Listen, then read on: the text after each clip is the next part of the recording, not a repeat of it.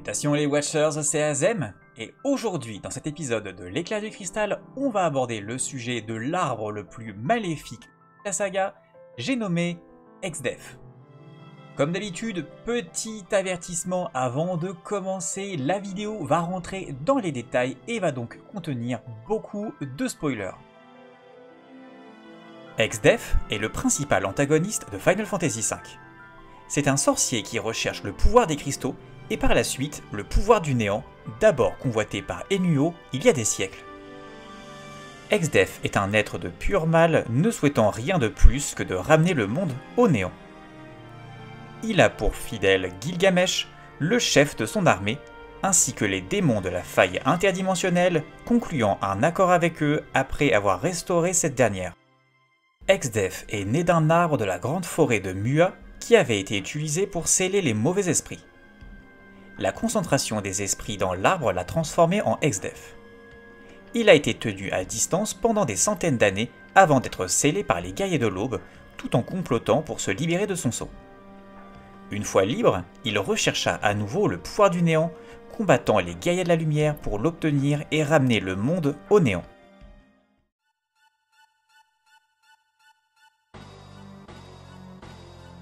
XDEF porte une armure bleu ciel avec un casque à cornes des épaules à pointe et une longue cape bleue. Son casque est surmonté d'un panache à deux extrémités et possède une fine visière qui serait normalement utilisée pour la vue. Son armure est décorée de bijoux, de doublures en or et de perles, et bien qu'il soit un sorcier, Exdef porte une épée qu'il peut utiliser au combat aussi efficacement que sa magie. La seule partie de son corps non couverte par l'armure sont ses mains qui sont gris cendré avec des ongles pointus noirs. Son apparence sous l'armure est révélée dans Dissidia Duodécime Final Fantasy en achetant le deuxième costume alternatif. Ses attributs physiques sont difficiles à déterminer dans Final Fantasy V, car son sprite de combat domine les guerriers de la lumière, mais il s'agit de la représentation typique des combats de boss et n'est donc pas représentatif. Dans Dissidia, Exdef est l'un des plus grands méchants. Sous sa forme d'arbre, le torse et la tête d'Exdef sont visibles mais sont d'un bleu plus foncé.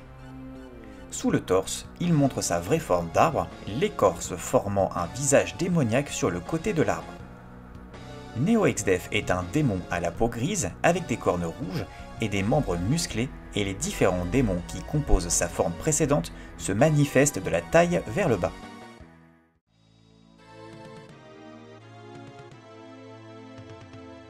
La personnification de nombreux esprits maléfiques scellés dans un arbre. Exdef est un être de pur mal. Il est égoïste, maniaque, insensible, arrogant et haineux. Il cause d'immenses destructions sans remords et rejette même son fidèle lieutenant Gilgamesh après son échec. Il considère les guerriers de la lumière comme étant inférieurs à lui, les décrivant comme faibles par rapport à sa puissance et des imbéciles simples d'esprit qui, selon lui, ne pourront jamais comprendre ses motivations. Sa faiblesse est son incapacité à comprendre l'émotion positive. Dans sa bataille contre Galuf, à la forêt de Mua, il se moque avec confiance de Galuf, se vantant qu'aucune haine ne pourra le vaincre, incapable de comprendre que Galuf se bat par amour pour ses amis et sa petite fille. Pas pour détruire Exdef, mais pour essayer de les garder en vie. Les motivations d'Exdef ne sont pas tout à fait claires. Après que la reine de Karnak ait été libérée de la possession d'Exdef, elle a suggéré que son esprit désirait tout envelopper dans les ténèbres. En proclamant que sa raison de fusionner les mondes était d'obtenir le pouvoir du néant, il déclare simplement un désir pour son pouvoir incomparable. Plus tard, il proclame simplement La terre entière s'agenouillera devant moi après avoir obtenu son pouvoir complet. Cela suggérerait qu'Exdef cherche le pouvoir pour lui-même, car il ne précise jamais ce qu'il souhaite faire avec ce pouvoir, à part détruire ceux qui s'opposent à lui. Étant donné qu'il est la personnification des mauvais esprits, il est possible qu'il souhaite simplement le pouvoir et infliger la cruauté sans objectif final clair. Lorsqu'il devient Néo-Exdef, après avoir été englouti par le néant, il exprime le désir de rendre tout ce qui est, souvenir, dimension, existence, y compris lui-même, au néant. Cependant, il n'est pas clair si XDEF partageait à l'origine cet objectif. L'apparition d'XDEF dans Dissidia Final Fantasy donne un nouvel angle à ses motivations et à sa personnalité. il est démontré que sa confiance provient non seulement de son immense pouvoir, mais de son assurance que, qu'il réussisse ou non, tout prendra fin et retournera dans le néant. Il n'est pas proactif, mais erre simplement et accepte d'aider les autres guerriers de Chaos dans leur plan. Lors de sa défaite finale, Exdef accepte mieux sa défaite que la plupart des autres parce qu'il lutte non seulement pour l'élimination de l'existence, mais aussi pour sa propre disparition éventuelle. Il trouve donc du plaisir dans le sentiment de mourir, après avoir assuré aux guerriers de Cosmos que tous finiront par retourner dans le néant. Il passe donc ses instants à rire.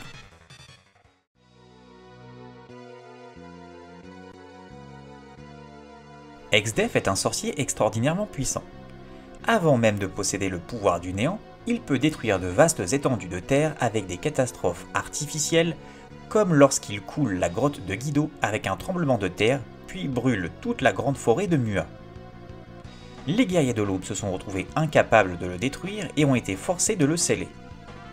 Dans ce saut, Exdef possédait toujours le pouvoir de contrôler les autres, y compris le roi de Tycoon, pour détruire au moins 3 des cristaux du monde de Bartz son pouvoir monte encore en flèche après avoir pris le contrôle du néant, atteignant les hauteurs des nuaux.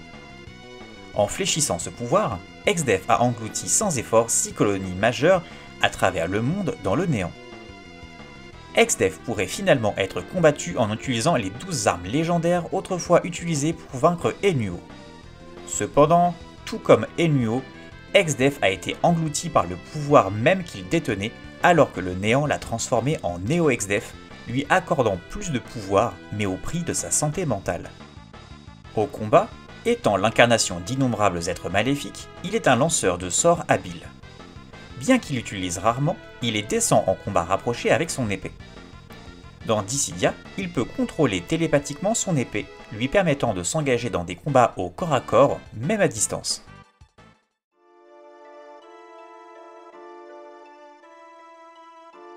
Après la défaite du démoniste Enuo, le néant qu'il a créé n'a pas pu être effacé et a été scellé dans la faille interdimensionnelle créée en divisant la planète R et ses cristaux en deux. Sur le monde de Galuf, de nombreux esprits maléfiques ont été scellés dans un arbre dans la grande forêt de Mua.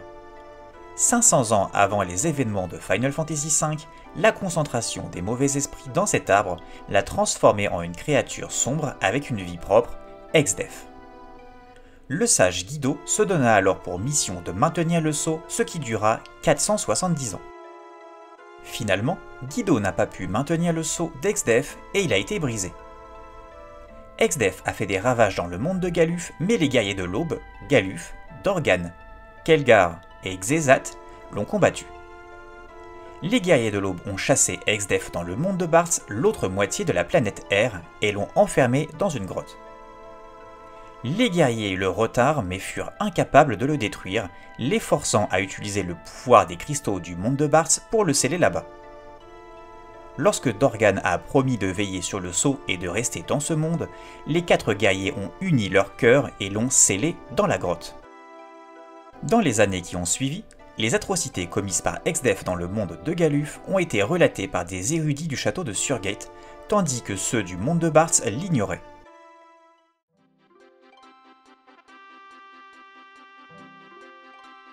Exdef souhaite rechercher le pouvoir du néant. Son objectif De fusionner les mondes afin que la faille interdimensionnelle réapparaisse et qu'il puisse revendiquer le néant scellé à l'intérieur.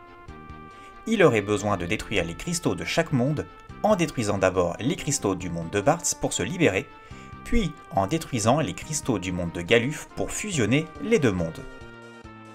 De son saut, il a pris le contrôle de certains des habitants du monde de Bars pour briser les cristaux qui étaient déjà affaiblis par l'utilisation des dispositifs d'amplification de cristal de Sid Previa qu'il avait développés pour rapprocher les cristaux de la puissance qu'ils avaient il y a 1000 ans.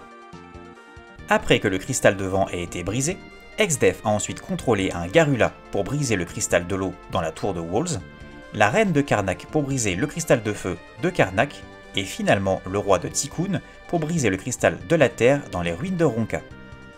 Cependant, l'éclatement du cristal de vent a également permis aux cristaux de choisir 4 champions, Bartz, Galuf, Lena et Faris, comme les guerriers de la lumière qui ont rencontré Exdef dans les ruines.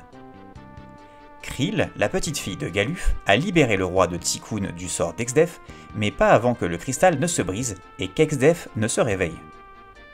Le roi de Tikkun s'est sacrifié pour que les guerriers de la lumière et Krill puissent s'échapper, et Exdef est ensuite retourné dans le monde de Galuf.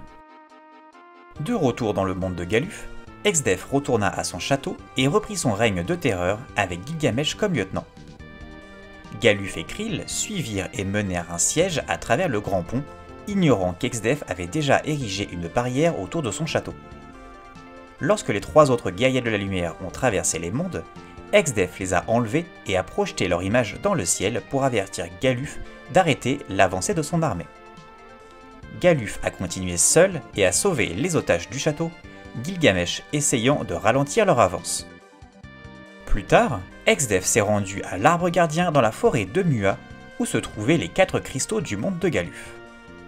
Les guerriers de la lumière se sont aventurés dans la forêt et ont été trompés par Exdef en détruisant les sceaux autour des quatre cristaux, permettant à Exdef de prendre leur pouvoir et de l'utiliser contre les quatre guerriers, les piégeant. Krill est arrivé pour essayer de les sauver, mais Exdef l'a piégé dans son anneau de feu. Galuf, enragé qui s'est libéré du cristal qui le retenait, a combattu Exdef seul. Exdef a raillé Galuf en lui disant qu'aucune haine ne pouvait le vaincre, ce à quoi Galuf a répondu qu'il ne se battait pas avec colère ni haine. Déconcerté par la capacité de Galuf à résister à une énorme quantité d'attaques, Exdef s'enfuit avec les cristaux restants. Galuf meurt peu après, Krill héritant de ses pouvoirs en tant que guerrière de la lumière. Les guerriers de la lumière ont infiltré le château d'Exdef et ont rencontré Gilgamesh qui était venu à la recherche de la plus puissante des épées dans un coffre au trésor, mais après que Gilgamesh n'ait pas réussi à vaincre les guerriers, Exdef l'a banni pour son incompétence. Ensuite, les guerriers ont affronté Exdef lui-même qui avait pris les cristaux. Exdef s'est moqué d'eux pour l'avoir combattu alors qu'il ne comprenait pas ses plans, et bien qu'il l'ait apparemment vaincu, les cristaux se sont brisés et ils se sont éteints lorsque les mondes ont fusionné. Exdef a suivi les guerriers de la lumière jusqu'à la grotte de Guido, déguisé en écharde sur Krill. Les mondes fusionnant, il pouvait revendiquer le pouvoir du néant et ramener le monde à un état de vide.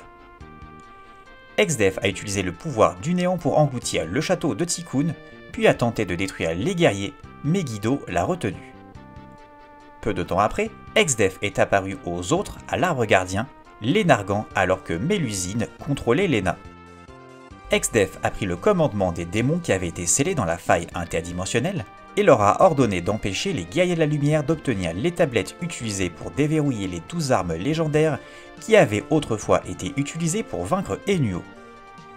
Les guerriers ont finalement affronté Exdef dans la faille, mais il avait atteint la pleine puissance du néant et était revenu à sa vraie forme, un arbre monstrueux.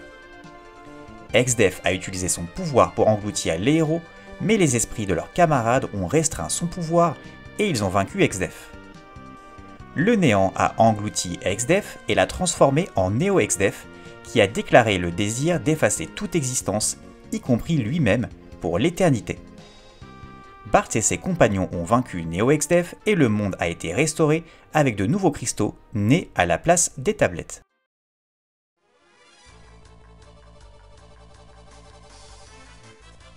Exdef est combattu trois fois. Deux fois sous sa forme de chevalier et une fois sous sa vraie forme d'arbre. Ensuite, Neo-Exdef est combattu. Exdef est le premier boss final de la série qui oblige les joueurs à combattre un autre boss juste avant la bataille finale. Depuis Exdef, tous les méchants suivants de la série ont suivi cette tendance. Le château scellé abrite un ennemi aléatoire appelé âme d'Exdef, qui est similaire à son combat d'origine dans son château.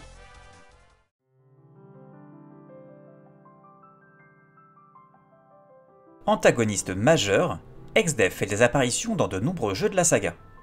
Dans l'extension de Final Fantasy XIV Stormblood, Final Fantasy Dimension 2, Dissidia Final Fantasy et Duodécime, Dissidia NT, Dissidia Opera Omnia, Theaterism Curtain Call, All Star Carnival et Final Barline, Pictologica Final Fantasy, Final Fantasy Airborne Brigade, Final Fantasy Artnix, Final Fantasy All the Bravest, Final Fantasy Record Keeper, Final Fantasy Brave Exvius, et dans le Final Fantasy Trading Card Game.